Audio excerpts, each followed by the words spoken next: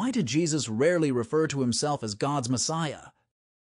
During his ministry on earth, it may be surprising to know that Jesus rarely referred to himself as being the Messiah publicly. The word Messiah is interchangeable with Christ, the former being the Hebrew version of the Greek word, Christos, meaning anointed.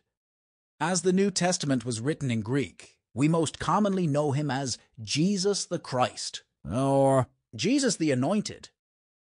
Why did Jesus make few public announcements that he was Israel's long awaited Messiah? For example, while on a journey with his disciples, Jesus asked them, Who do people say that I am? Mark 8:27. They responded, John the Baptist, and others say Elijah, and others, one of the prophets. And he asked them, But who do you say that I am? Peter answered him, You are the Christ. And he strictly charged them to tell no one about him. Mark 8:28 through 30. We see at Luke 4 4 that Jesus restricted the speech of demons, who loudly referred to him as being the Christ. And demons also came out of many, crying, You are the Son of God. But Jesus rebuked them and would not allow them to speak, because they knew that he was the Christ. Was Jesus trying to keep this a secret? Even when on trial before the high priest, Jesus refrained from making any clear statements regarding himself, other than referring to a passage in the Old Testament. And the high priest stood up and said, Have you no answer to make? What is it that these men testify against you?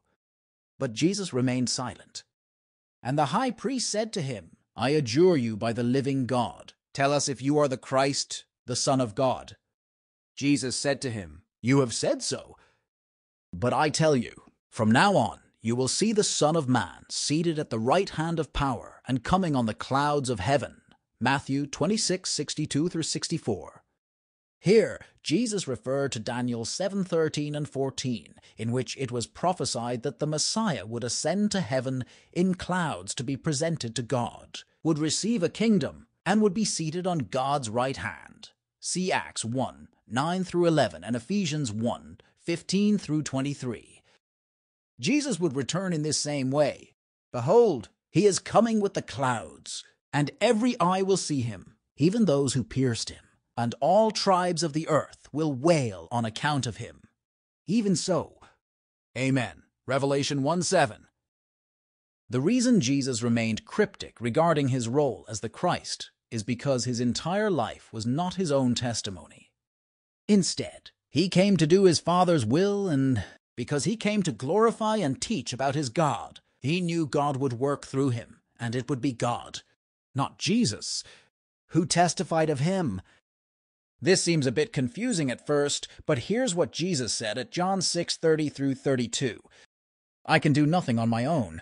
As I hear, I judge, and my judgment is just because I seek not my own will, but the will of him who sent me. If I alone bear witness about myself, my testimony is not true. There is another who bears witness about me, and I know that the testimony that he bears about me is true. Jesus also explained, But the testimony that I have is greater than that of John, the Baptist. For the works that the Father has given me to accomplish, the very works that I am doing, bear witness about me that the Father has sent me and the Father who has sent me has himself borne witness about me.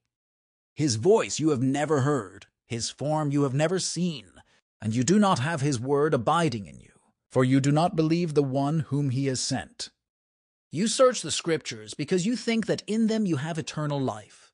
And it is they that bear witness about me. John 5:36 through 39. God's expectation was that by doing many miraculous works through his son Jesus, through his life and teachings, careful observers would see that he was the Messiah. This evidence would be based upon the Old Testament's writings and prophecies about him. The Old Testament prophets gave Israel all the clues they would need. There were some who did see the works Jesus did and successfully understood who Jesus was.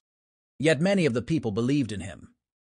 They said, When the Christ appears, Will he do more signs than this man has done? John 7:31. Finally, a group of Jews gathered around Jesus at the temple and asked, "How long will you keep us in suspense? If you are the Christ, Tell us plainly. Jesus answered them, I told you, and you do not believe.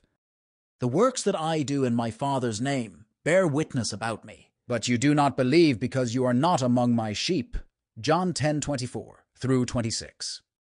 It is important to understand that Jesus was not a swaggering, boasting man, but was a humble man who perfectly did his Father's will. He did not come to glorify himself. Jesus answered, If I glorify myself, my glory is nothing. It is my Father who glorifies me, of whom you say, He is our God. John 8:54.